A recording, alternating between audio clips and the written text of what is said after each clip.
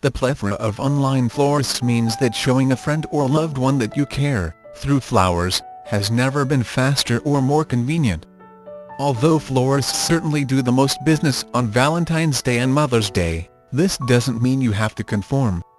Consumers around the world are choosing creative arrangements rather than going for the obvious, a dozen roses for your lover or the spring flower arrangement for your... There are hundreds of online florists which have many creative ideas for sending flowers on Mother's Day that a son or daughter can choose from.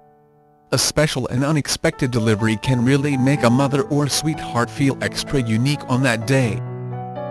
Flowers are a wonderful way to tell their recipient that you are thinking of them from far away for example in a long-distance relationship or during a trip. But you don't have to wait until you are far, sending flowers from two streets over or even just one house down will still touch the recipient.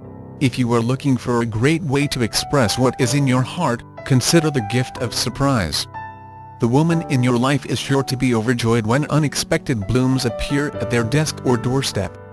It does not matter whether or not there is an occasion, every individual is happy to know they are remembered in someone else's thoughts. Flowers are also a good way to convey your support for those who are going through difficult events. Your co-workers, business contacts, and fellow church members would all appreciate this sort of thoughtfulness when they are facing challenges. Flowers are also a time-honored expression of grief which can lend a little comfort to a friend or acquaintance who has just experienced a family loss. Flowers don't have to be just for special occasions like Mother's Day and Valentine's Day. Online florists not only have the classic long-stem roses, but also a large selection of unusual arrangements that your mother or sweetheart would love.